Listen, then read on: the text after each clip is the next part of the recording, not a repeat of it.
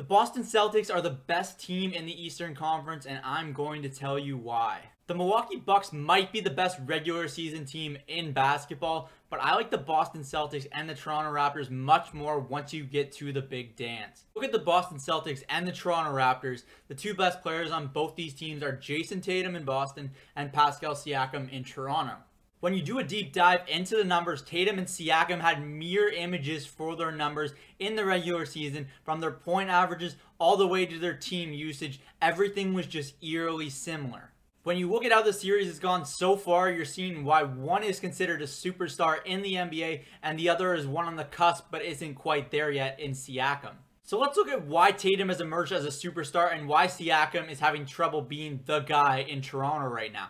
The pick and roll was super important for Tatum's offense this year. He cut down on the mid range jump shots, and it has paid dividends for him in his ultimate success. Another emergence in Tatum's game this season came from his ability to finish well through contact. It's something his teammate Jaylen Brown does extremely well. And I think both their games are finally complementing each other in many different facets on the court. I really think Tatum and Brown have both learned key aspects of one another's games this year to help each other out on the court. Brown has always had an elite first step and takes contact just about as well as anyone in the association. And we're seeing Tatum utilize that a lot more in his game. Tatum's three point shot was very efficient this year, shooting over 38% from beyond the arc, including 47% from three point land off the pick and roll. His game has evolved so much this year, and there's now many different ways that he can score. He's been a very difficult task for opposing defenses to try and solve, and there's no doubt he is now considered a superstar in the NBA.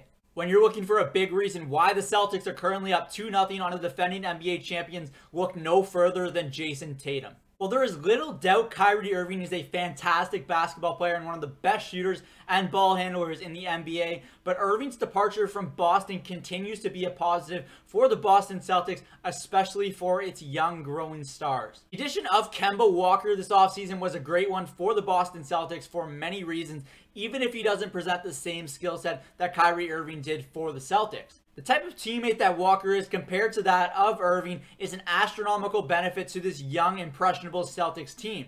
The Celtics and those around the organization will tell you there's a big difference around this team compared to last year, and the big reason for that is because of the departure of Kyrie Irving. Now, another positive is that Jaylen Brown is finally getting a chance to showcase his talents in a big role for the Celtics. He's seen a big bump in his usage this season, going up to nearly 25% for the first time in his career.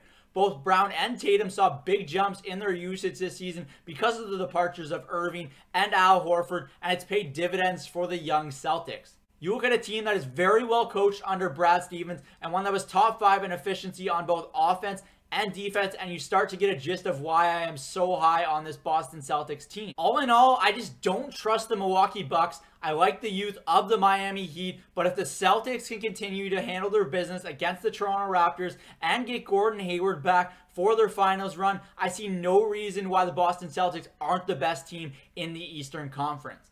That's it for me from Cook's Corner today. I'm Zach Cook. We'll see you later.